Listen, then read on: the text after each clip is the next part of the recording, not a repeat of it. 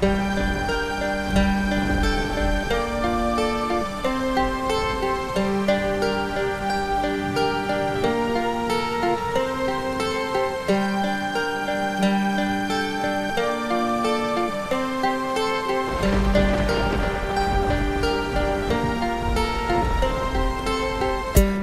was just an average guy growing up in a middle class world. He got bored about the time when he turned 16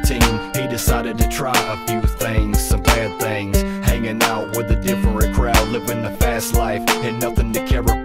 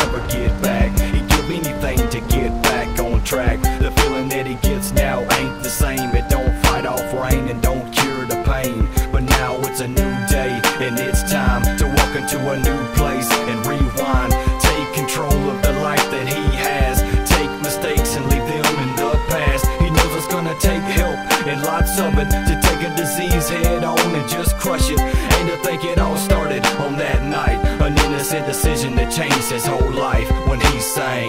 This plastic bottle, oh, it has what